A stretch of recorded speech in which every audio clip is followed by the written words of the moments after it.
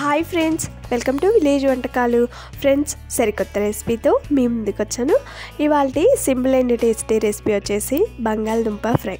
బంగాళదుంపతో ఎప్పుడు చేసుకునే ఫ్రై కాకుండా ఇలా కొంచెం కొత్తగా డిఫరెంట్గా ట్రై చేయండి ఫ్రెండ్స్. ఇదైతే చాలా రుచిగా ఉంటుంది. చేసుకోవడం కూడా చాలా సింపుల్. ఫస్ట్ టైం వంట చేసేవారు బ్యాచిలర్స్ అయితే ఈ బంగాళదుంప ఫ్రైని ఈజీగా రెడీ చేసుకోవచ్చు. ఇక లేట్ చేయకుండా సింపుల్ అండ్ టేస్టీ బంగాళదుంప ఫ్రైని ఎలా రెడీ చేసుకోవాలి దాని ప్రాసెస్ ఏంటని చూసేద్దాము. బంగాళదుంప ఫ్రై రెడీ చేసుకోవడం కోసం హాఫ్ కేజీ బంగాళదుంపలు తీసుకున్నానండి. ఫైవ్ హండ్రెడ్ గ్రామ్స్ ఉంటాయి. ఈ బంగాళదుంపల్ని శుభ్రంగా కడిగి పై తొక్కను మొత్తం తీసేయాలి. ఇలా తీసేసిన తర్వాత వీటిని మీడియం సైజు ముక్కల్లాగా కట్ చేసుకోవాలి. ఫస్ట్ ఒక బంగాళదుంప తీసుకొని మధ్యలోకి కట్ చేసి దాన్ని ఇలా చిన్న చిన్న పీసెస్ లాగా కట్ చేయాలి. మరీ పెద్ద పీసెస్ లాగా తరగొద్దు. అలాగని మరీ చిన్నగా కూడా తరగొద్దండి. మీడియం సైజు ముక్కల్లాగా తరిగి పెట్టుకోవాలి. ఇలా తరిగి పెట్టుకున్న ఈ బంగాళదుంప ముక్కల్ని ఒక పెద్ద బౌల్లోకి వాటర్ని తీసుకొని అందులో కొంచెం సాల్ట్ వేసి తరిగి పెట్టుకున్న బంగాళదుంపని అందులో వేసుకోవాలి. ఇలా సాల్ట్ వాటర్లో వేయడం ద్వారా బంగాళదుంప కలర్ మారకుండా ఉంటుంది. తీసుకున్న అన్ని బంగాళదుంపల్ని కూడా ఈ విధంగా తరిగి పెట్టుకొని సాల్ట్ వాటర్లో వేసి పెట్టుకోవాలి. ఇప్పుడు స్టవ్ పైన అడుగు మందంగా వెడల్పుగా ఉన్న ఒక గిన్నె పెట్టుకొని అది వేడైన తర్వాత ఇందులో ఫ్రైకి సరిపడా ఆయిల్ పోయాలి. నేనైతే ఇక్కడ ఫైవ్ టీ స్పూన్ వరకు ఆయిల్ పోసాను. ఆయిల్ వేడైన తర్వాత హాఫ్ టీ స్పూన్ వరకు జీలకర్ర ఒక ఎండుమిర్చిని కట్ చేసి వేసుకోవాలి. అలాగే పావు టీ స్పూన్ వరకు ఆవాలు వేయాలి. అవి చిటపట్లాడేటప్పుడు కొన్ని వెల్లుల్లి రెబ్బల్ని పొట్టు తీసి కచ్చపచ్చకి దంచి వేసుకోవాలి. ఈ వెల్లుల్లి పచ్చివాసన పోయేంత వరకు బాగా ఫ్రై చేసుకోవాలి. వెల్లుల్లి ఇలా లైట్గా ఫ్రై అయిన తర్వాత ఇందులో ముందుగా తరిగి పెట్టుకొని సాల్ట్ వాటర్లో వేసిన బంగాళదుంప ముక్కల్ని వేసుకోవాలి. వాటర్ లేకుండా ఇలా బంగాళదుంప ముక్కలన్నిటిని కూడా పోపులోకి వేసిన తర్వాత ఒకసారి బాగా కలుపుకోవాలి.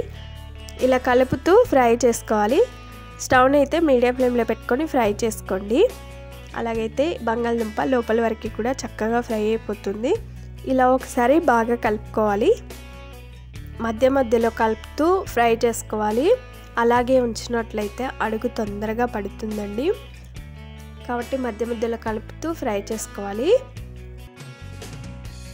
కొద్దిసేపు వీటిని బాగా ఫ్రై చేసుకున్న తర్వాత ఇందులో రుచికి సరిపడా ఉప్పు వేసుకోవాలి. ఉప్పు వేసిన తర్వాత ఒకసారి బాగా కలుపుకోండి. అడుగు భాగం నుండి మన ఈ బంగాళదుంప ముక్కల్ని బాగా కలుపుతూ ఉండాలి. అలాగైతే లోపల వరకు కూడా చక్కగా ఫ్రై అయిపోతాయి. అవి కొంచెం సాఫ్ట్గా అయిన తర్వాత ఇందులో హాఫ్ టీ స్పూన్ వరకు పసుపు వేయాలి. అలాగే one and half teaspoon వరకు కారం వేసుకోవాలి. అలాగే హాఫ్ టీ స్పూన్ వరకు ధనియా పౌడర్ వేసుకోవాలి. అలాగే పావు టీ స్పూన్ వరకు గరం మసాలా వేసుకోవాలి. ఇవన్నీ వేసి పచ్చివాసన పోయేంత వరకు బాగా ఫ్రై చేసుకోవాలి.